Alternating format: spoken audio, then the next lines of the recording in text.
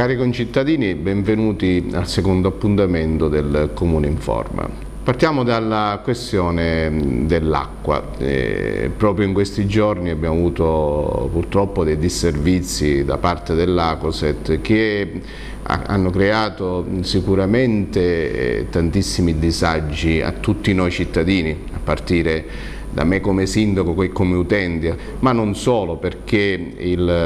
l'Acoset è una società consortile eh, che ha la possibilità, ha la, la gestione dell'acqua dell in 20 comuni della provincia di Catania. E molti accusano il comune di essere parte in causa nella gestione dell'acqua dell nel nostro territorio. Voglio precisare che l'ACOSET è un consorzio di comuni in cui il comune di Sant'Antonio ha il 5% delle quote sociali.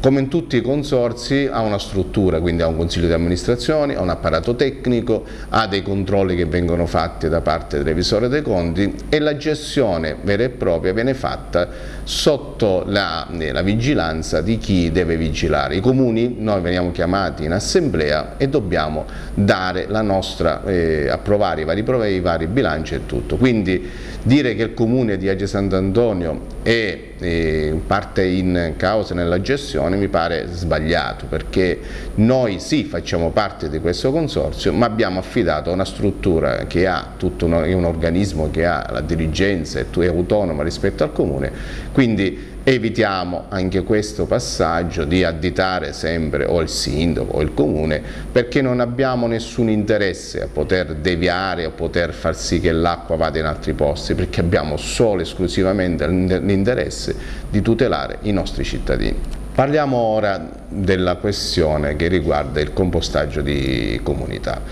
Eh, L'altra sera ci siamo mh, confrontati a Lavinaio, abbiamo fatto una conferenza eh, aperta al pubblico, aperta a tutti i cittadini di, di Lavinaio e abbiamo ottenuto secondo me un, un risultato importante.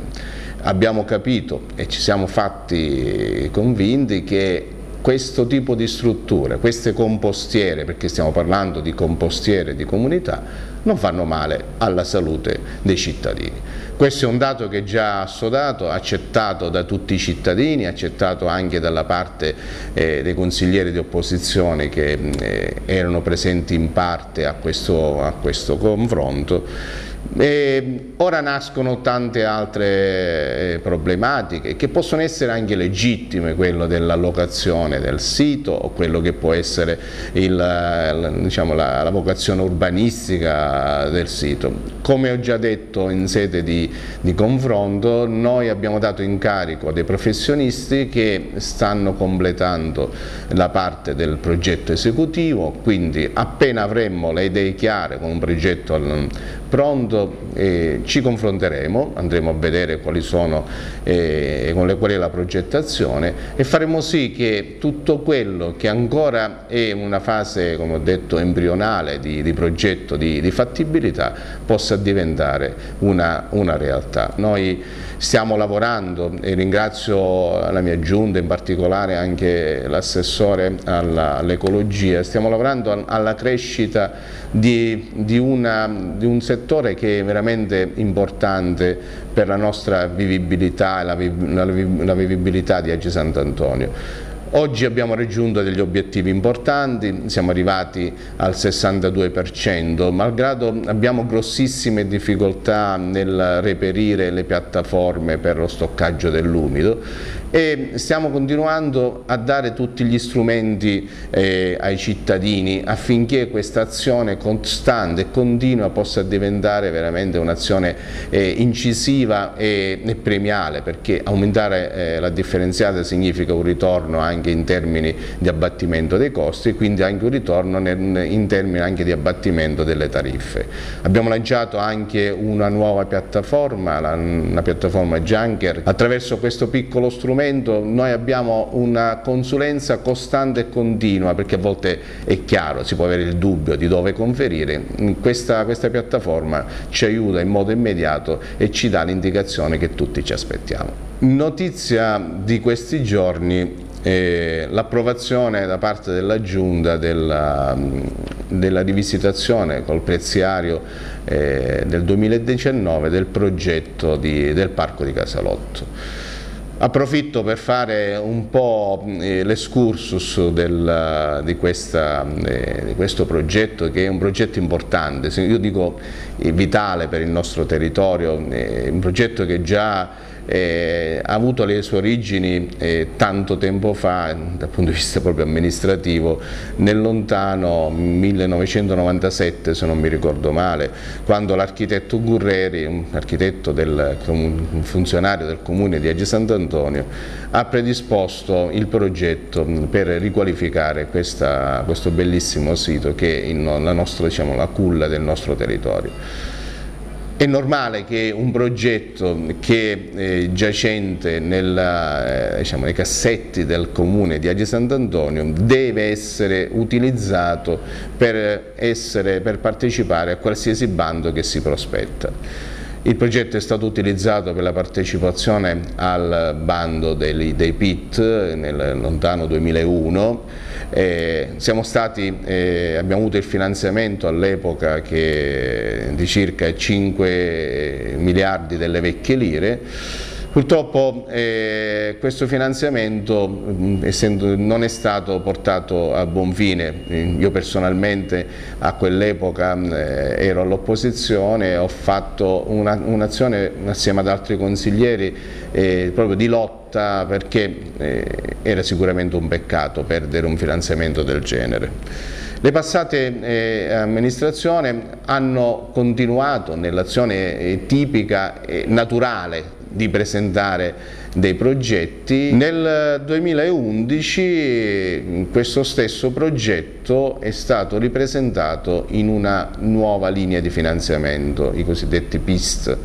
i, queste linee di finanziamento mh, si è conclusa la, con i fondi europei, si è conclusa la fase dei finanziamenti eh, perché si è conclusa la programmazione dei fondi europei 2007-2013 e non è stato finanziato. Ultimamente la Regione Sicilia ha voluto riprendere attraverso delle economie nella passata programmazione europea eh, alcuni progetti che potevano essere finanziati. Questa amministrazione si è interessata, ha dato una disponibilità e una manif ha manifestato un interesse a poter avere questo progetto, siamo stati inseriti in un decreto del 31 dicembre 2018 Oggi ci ritroviamo con la richiesta da parte della Regione dell'adeguamento del, del, progetto a preziario vigente, l'abbiamo fatto, abbiamo mandato la documentazione e aspettiamo che arrivi finalmente il decreto di finanziamento.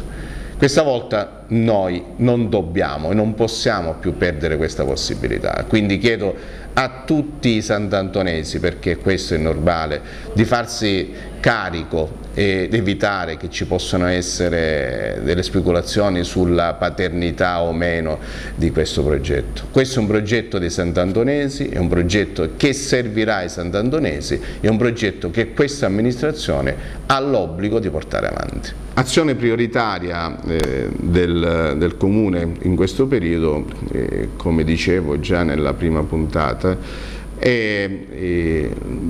diciamo, l'implementazione diciamo, del, dell'organico del, del, comune. Eh, ci sono diversi, eh, città, diversi, impiegati che stanno andando in pensione e noi abbiamo fatto una programmazione che ci permetterà di poter far sì che tutto quello che sono le, le carenze anche di diversi anni, perché per diversi anni c'è stato un blocco del turnover, possono essere pian piano eh, sanate e appianate. Abbiamo iniziato già tutte le procedure e una su tutte abbiamo dato già priorità alla, al settore dei vigili urbani.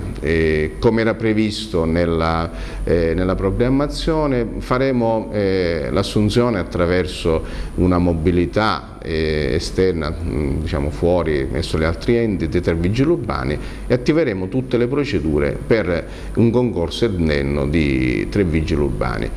oltre che abbiamo fatto già il, una delibera che permette di incrementare le ore di un esiliario del traffico che all'interno del corpo dei vigili urbani potrà essere da supporto in questo momento di carenza di, carenza di personale. Questi sono i primi passi e subito dopo eh, le ferie attiveremo tutte quelle che sono le altre procedure a partire dai tecnici che noi dobbiamo, eh, abbiamo programmato di assumere negli uffici tecnici, quindi prenderemo due tecnici in mobilità dall'esterno e due, un concorso per due tecnici all'interno e poi completeremo già i concorsi che sono già in itinere.